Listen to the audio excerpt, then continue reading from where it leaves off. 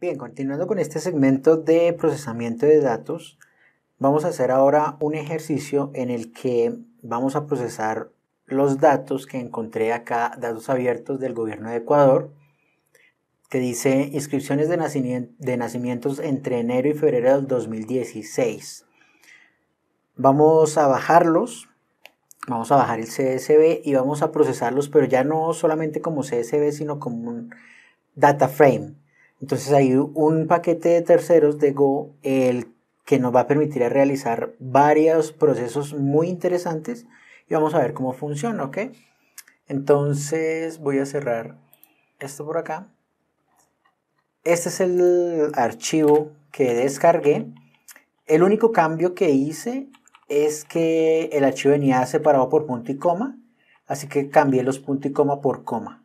Eso fue el único cambio que hice.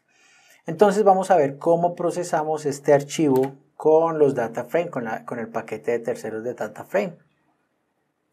Muy bien.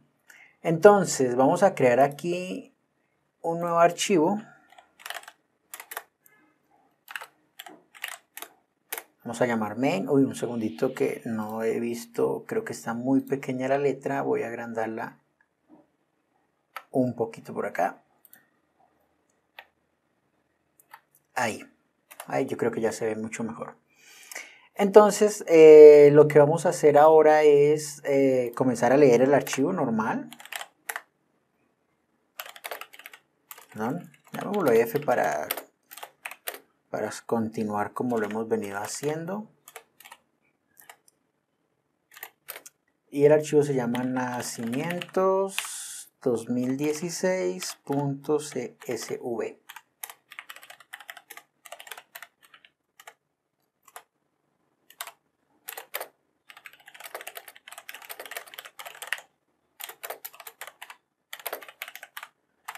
Bien. Ah, bueno, el de Fair, siempre tratar de que no se nos olvide si necesitamos cerrar el archivo. Ok, me veo un poco oscuro, pero no voy a configurar más el setup hoy. Bien, lo que vamos a hacer ahora es que vamos a utilizar un paquete de terceros. Uy, un momento, este paquete no es el que quiero. Bien. El paquete se llama DataFrame Este es el paquete que vamos a utilizar, el de GitHub kniren niren, gota dataframe. Perfecto. Entonces, él nos va a devolver un data frame. Le tenemos que decir de qué archivo. Y ah, ya tenemos este data frame, ya podemos ver qué es lo que nos devuelve. Vamos a imprimirlo.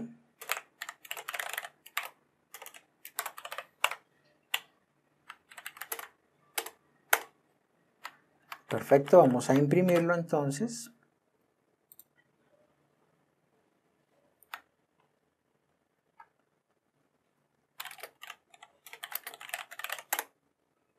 Muy bien, entonces observen que él me dice que tiene 833 filas por 7 columnas, ¿vale? Y me está mostrando las primeras columnas. No me las muestra todas, ya vamos a ver y me muestra los 10 primeros registros. Entonces acá está la provincia, Azuay, el cantón, la parroquia y me dice por acá el tipo de dato de cada columna. Este va a ser string, este va a ser string, string. Y me dice que, cuáles son las columnas que no se están mostrando. Entonces me dice que no se está mostrando el tipo de inscripción, que es string, el año, que es entero, el mes, que es entero y el total también que es entero. Pero esto nos sirve porque vemos que el data frame está corriendo correctamente, ¿vale?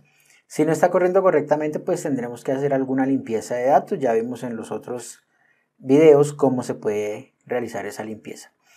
Por ahora lo que podemos hacer es mirar qué nos devuelve el data frame, pues ya vimos acá una parte, pero podríamos decirle, devuélvame cuántas filas hay, cuántas columnas hay y los nombres de las columnas, aunque ya está aquí, pero lo podríamos hacer de la siguiente forma. Entonces, algo así como filas, porcentaje de columnas, porcentaje de y nombres, porcentaje S. ¿Ok? Entonces acá del dataframe.nrow del dataframe.ncall ncall, sí, correcto. Y del dataframe.names, que es un slice de string. Perfecto. Entonces miremos. Mire, me dice que hay 833 filas, 7 columnas y que los nombres de las columnas son estos. ¿Vale? Aquí podríamos confundirnos un poquito porque, por ejemplo, tipo de inscripción tiene unos espacios. ¿Ok? Entonces podríamos tener eh, algún inconveniente ahí por ese espacio, de pronto nos puede confundir. Entonces tener en cuenta bien cuál es el nombre de las columnas que vamos a procesar. Bien, ya vimos que el DataFrame nos da una información muy, muy interesante. ¿Vale? Ahora lo que voy a hacer o lo que quiero hacer es, por ejemplo, hacer una proyección de, la consulta. Igual que como en una base de datos, las proyecciones, que tú dices select y colocas los campos que quieres mostrar. Entonces miremos cómo podemos hacer esa proyección. Es muy sencillo. Lo que podemos hacer es fmt.print y le damos lo siguiente del dataframe.select select y él recibe un slice de string para saber qué columnas quiero mostrar. Entonces, por ejemplo, sé que tiene provincia, sé que tiene cantón y sé que tiene, por ejemplo, total. Quiero que me muestre eso. Vamos a ver qué nos muestra. Él nos muestra inicialmente siempre 10 registros máximo. Entonces observen que él me mostró la provincia, el cantón y el total. Esto no se veía antes, ¿recuerdan? Miren, este era el anterior. Ahora sí puedo hacer una proyección y mostrar los campos que yo requiero. Bastante útil este paquete. También, eh, ¿qué podemos hacer? Miren que me está mostrando siempre los primeros 10 registros. Yo podría decirle, mire, muéstreme, muéstreme cuatro registros, por ejemplo. Muéstreme cuatro registros. Entonces lo podría hacer acá mismo. De este mismo select, una vez acá al final del select, punto, y le damos subset. Subset. Este subset también nos recibe un slice de enteros. Y acá le vamos a decir cuáles son los registros que quiero. Por ejemplo, el 0, el 1, el 2, el 3 y el 4. Son 5 registros. Veamos a ver. Mire, me está mostrando estos los primeros 5 registros. 3, 68, 7, 25 y 14.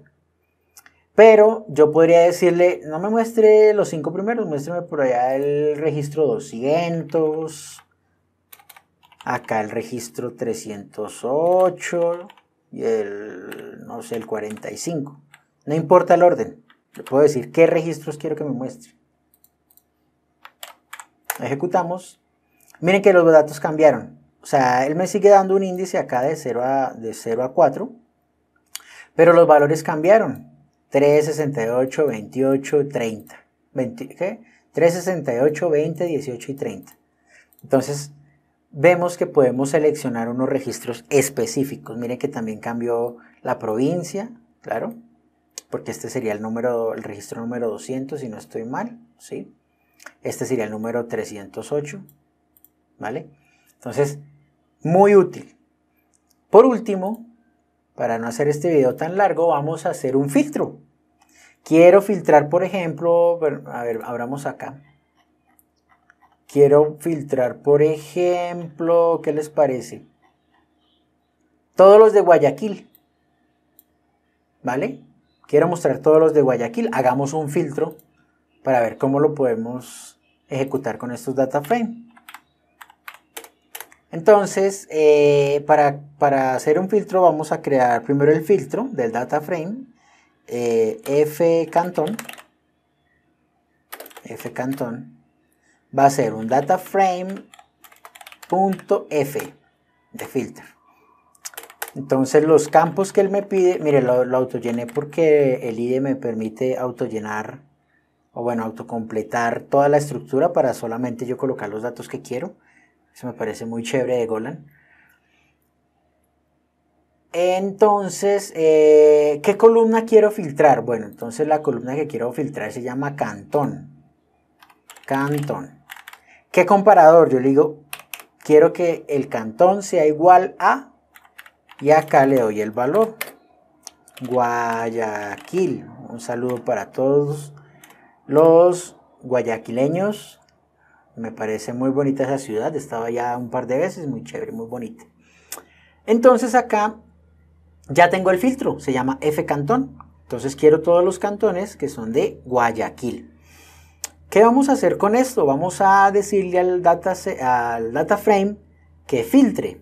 Muy, muy fácil. Entonces voy a colocar acá fmt.print y quiero que del data frame.filter y le envío el filtro F cantón.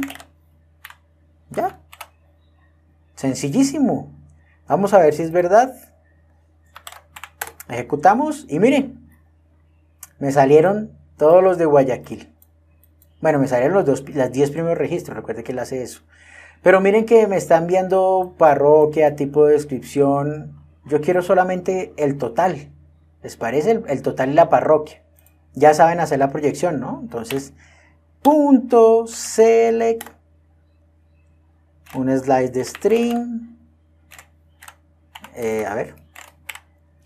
Y quiero el cantón, bueno, el cantón no lo quiero porque siempre va a ser Guayaquil. Quiero la parroquia, parroquia y total. ¿Vale? Vamos a ver.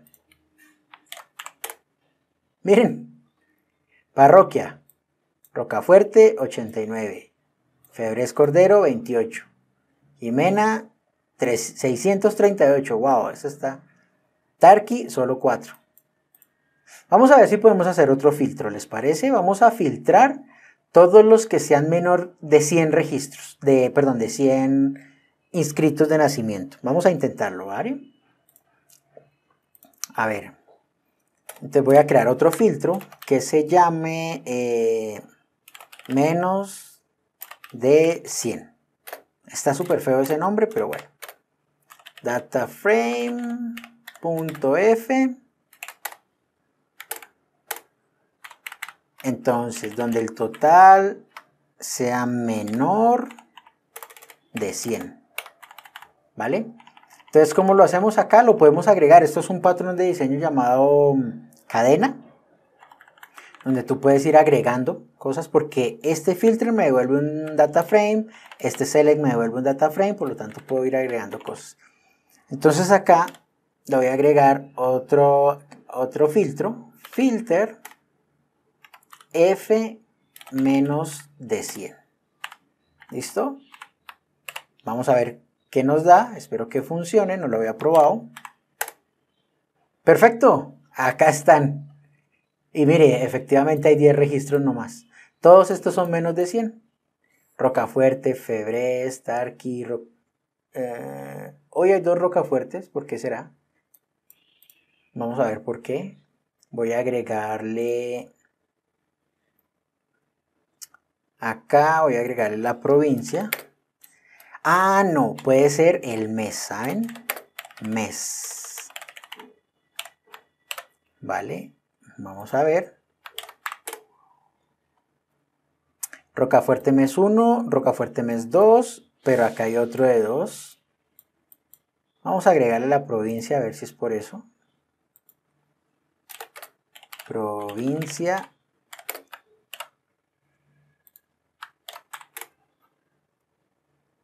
Todos son de Guayas. No sé. Ah, ya sé. Es el tipo de inscripción. Eh, tipo de inscripción, vamos a agregárselo.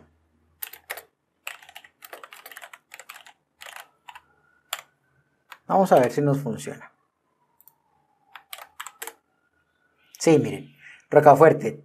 Tardías ocurridas en el exterior, 87. Tardías pasados los 14 años, 22. ¿Ok?